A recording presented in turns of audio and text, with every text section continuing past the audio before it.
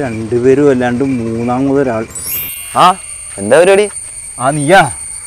ആ നീയും ബാ പക്ഷെ നമ്മൾ മൂന്ന് പേരല്ലാണ്ട് നാലാമതൊരാൾ അയ്യോ ആ വധൂരി ഇങ്ങോട്ട് വരണ്ടല്ലോ അവൻ അറിഞ്ഞാൽ തീർന്ന്. നമ്മൾ അണ്ടർവെയർ തൊട്ട് ലോക്കപ്പിൽ കിടന്നാൽ മതി. പോട്ടെന്നേ അവനെയും കൂട്ടാം. ഞാൻ പറഞ്ഞ് മനസ്സിലാക്കിക്കോളാം. അതെ മണ്ടനാന്നേ ഉള്ളു. ആൾ പാവം.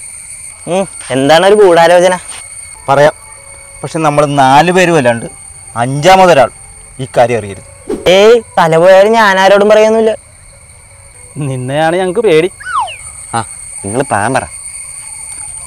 നമ്മുടെ ശത്രുക്കൾക്കെതിരെ ഒരു ഒളിപ്പോരാണ് ഞാൻ പ്ലാൻ ചെയ്യുന്നത്. ഇന്നലെ രാത്രി ടി വിയിൽ പഴശ്ശിരാജയാണല്ലോ കണ്ടത്. അതിന്റെ ഹാങ് ഓവറ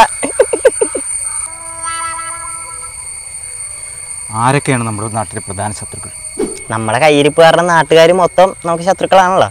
ഓ ഒന്നും മിണ്ടാതിരിക്കുമോ നമ്മുടെ പ്രധാന ശത്രുക്കളുടെ കാര്യമാണ് പറഞ്ഞത്. അത് പിന്നെ കുഞ്ഞപ്പം കുഞ്ഞപ്പൻ മുതലാളിയും രാഘവൻ സാറും. എന്നാന്ന് വെച്ചാൽ വാതൊന്ന് പറയടാ.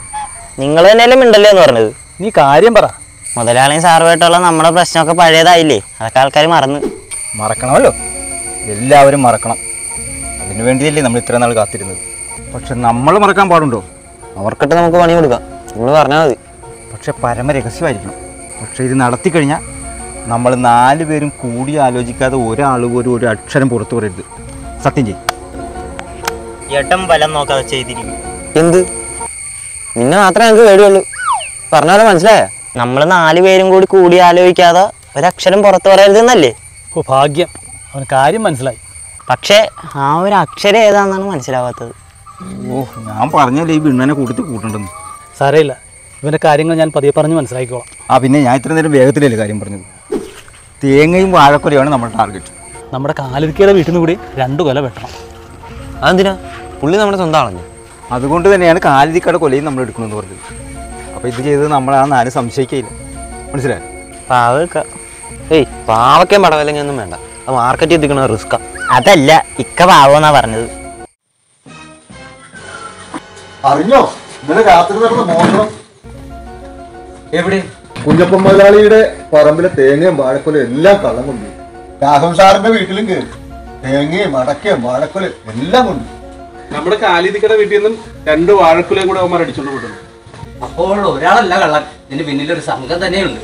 അതെ തെങ്ങയിലും കൗങ്ങയിലും കയറാൻ അറിയാവുന്ന ടീമായിരിക്കണം ഇതിന്റെ പിന്നിൽ. സംശയമില്ല. പക്ഷെ ആര്? നമ്മുടെ ലോക്കൽ ചാനൽ എന്താ പറയുന്നത് ഇതിനെപ്പറ്റി ആരെങ്കിലും കണ്ടായിരുന്നു? സത്യസന്ധവും സുതാര്യവുമായ വാർത്തകൾക്കായി നാട്ടുവിഷൻ ചാനലിലേക്ക് സ്വാഗതം. നാടിനെ പിടിച്ചുകുലുക്കിയ ഒരു മോഷണ വാർത്തയാണ് ഇന്നത്തെ ഹൈലൈറ്റ്. വിശദാംശങ്ങളുമായി നാട്ടിൽ തേരാപ്പര നടക്കുന്ന ഞങ്ങളുടെ പ്രതിനിധി ശ്രീരാജ് ലൈനിലുണ്ട്. ശ്രീരാജ് കേൾക്കാമോ? നമ്മൾ കാശ് കൊടുക്കാനുള്ളവരുടെ മുമ്പിലൊന്നും പോയി ചാടരുത്. ഇവനെന്താ ഐസ്ക്രീം തിന്നുന്നോ? എനിക്ക് തരാതെ. വായിലൊക്കെ വെളുത്തിരിപ്പുണ്ടല്ലോ.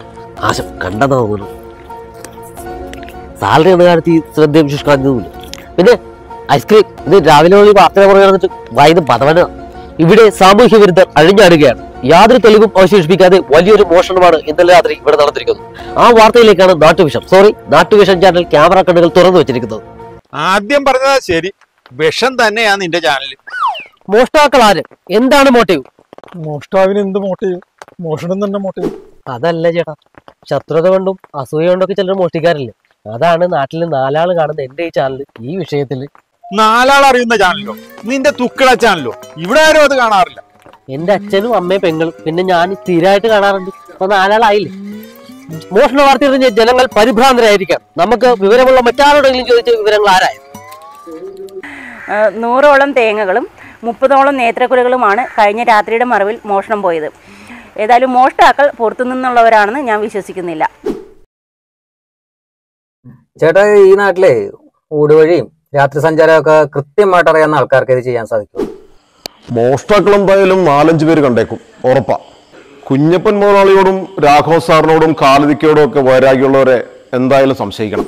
എനിക്കൊരു പങ്കുമില്ല ഞാൻ അറിഞ്ഞിട്ടുമില്ല ഒരു തെളിവും അവശേഷിപ്പിക്കാതെയാണ് മോഷണം നടത്തിയിരിക്കുന്നത്. ആളുകളെയും സ്ഥലവും ഒക്കെ നിരീക്ഷിച്ച് പഠിച്ച് വെൽ പ്ലാൻഡ് ആയിട്ടുള്ള ഒരു എക്സിക്യൂഷനാണ് ഇവിടെ ഉണ്ടായിട്ടുള്ളത്. എന്റെ അഭിപ്രായത്തിൽ ഇത് പുറത്തുനിന്നുള്ള ഒരു പ്രൊഫഷണൽ വർക്ക് ആകാനാണ് സാധ്യത. അതായത് ഈ തമിഴ്നാട്ടിൽ തിരുട്ട് ഗ്രാമം പോലുള്ള സ്ഥലങ്ങളിൽ നിന്നാകാനാണ് പ്രധാനമായും സാധ്യത. നൂറ് തേങ്ങ വെക്കാൻ കള്ളന്മാര് തമിഴ്നാട്ടിൽ നിന്ന് ഇവിടെ വരെ വരാൻ പോണു. വേറെ പണിയില്ലേ? കള്ളന്മാര് ഈ നാട്ടിലൊക്കെ തന്നെ ഉള്ളവരാ. ഉറപ്പ്. പ്രൊഫഷണൽ മോഷ്ടാക്കൾ നമ്മുടെ നാടിനെ ലക്ഷ്യം വെച്ചിരിക്കുകയാണെങ്കിലോ? ഈ മോഷണം ചിലപ്പോൾ ഒരു ടെസ്റ്റ് ഡോസ് ആയിരിക്കും. ഇനിയും വലിയ മോഷണങ്ങൾ അവർ പ്ലാൻ ചെയ്തിട്ടുണ്ടെങ്കിലോ? കണ്ടില്ലേ? നാട്ടുകാർ പരിഭ്രാന്തരാണ്. ഒരു നാട് മുഴുവൻ ഭീതിയുടെ മുൾമുനയിലാണ്. എന്താ എന്ത് പറ്റി? നീ മുൾമുലയിലാന്ന് പറഞ്ഞത് കേട്ട് പേടിച്ചതാ. കണ്ടില്ലേ? എന്ത് കേട്ടാലും ഭയചകിതരാവുന്ന അവസ്ഥയിലേക്ക് ജനമനസ് പരിവപ്പെട്ടിരിക്കുകയാണ് അഞ്ചാറ് തേങ്ങ മോഷണം പോയതിനാണ്. ഇവനിത് പറഞ്ഞു പറഞ്ഞ് ആഗോള വിഷയമൊക്കെ തോന്നുന്നത്. എന്തിനും വിഷം കലക്കല്ല അതല്ലേ നാട്ടു വിഷം ചാനലെന്ന് എന്ന് പറയണത്. പോലീസിന്റെ നിഷ്ക്രിയത്വമാണ് മറ്റൊരു എടുത്തു പറയേണ്ട വസ്തുത. എന്തോ? എങ്ങനെയാ?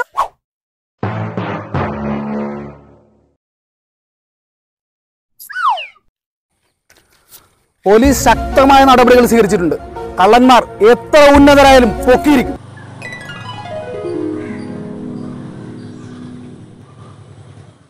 അറിഞ്ഞോ? നമ്മുടെ തേങ്ങാക്കള്ളന്മാരെ പോലീസ് നോക്കി. ദാസനും വിജയനും ചന്തും പിന്നെ നമ്മുടെ ശംഭു കൂടെ.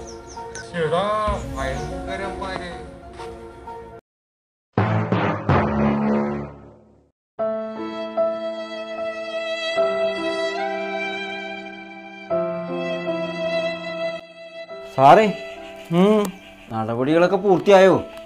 എന്താടാ? അല്ല പെരുമാറിയൊക്കെ കഴിഞ്ഞോ എന്ന് അറിയാൻ വേണ്ടി ചോദിച്ചതാ. ആ കഴിഞ്ഞ്. ഇനി കോടതി ഹാജരാക്കും. സാറ് ഞങ്ങളുടെ നാട്ടുകാരനായിട്ട് കൂടി ഒരു മയോ ഇല്ലാതെയാണ് സോറി സ്റ്റേഷനിലെ സിനിമാ തിയേറ്ററിന്റെയും അമ്യൂസ്മെന്റ് പാർക്കിന്റെ ഒക്കെ പണി തീരാത്തതുകൊണ്ടല്ലേ അല്ലെങ്കിലേ കുറച്ച് എൻജോയ്മെന്റ് ചെയ്യാമായിരുന്നു നിങ്ങൾ. അതേടാ സ്വാതന്ത്ര്യ സമരത്തിൽ പങ്കെടുത്താണ് നിന്നെയൊക്കെ പിടിച്ചോണ്ട് വന്നിരിക്കണേ നീയൊക്കെ നാട്ടുകാരെ തേങ്ങ മൊട്ടിക്കും അല്ലേ? അയ്യോ ഞാനൊന്നും മിണ്ടിയില്ലല്ലോ സാറേ. ഇവന്മാർക്കല്ലേ സംശയം? പഠിക്കുന്ന പിള്ളേരാണ് എപ്പോഴും സംശയം ചോദിക്കുന്നത്. പഠിക്കാത്ത ഇന്നെ പോലെയുള്ളവന്മാരെ എപ്പോഴും തല്ലുള്ളി ഉണ്ട് എന്നാ എനിക്ക് ഒരുപാട് സംശയമുണ്ട് സാറേ. അത് രോഗമാണ് സംശയ രോഗം